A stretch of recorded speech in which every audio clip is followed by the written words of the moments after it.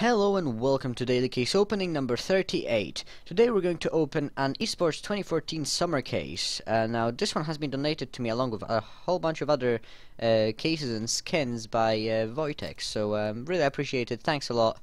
And let's just get to it. Last time we got a P90 virus I believe and uh, let's just see if we maybe get a pink.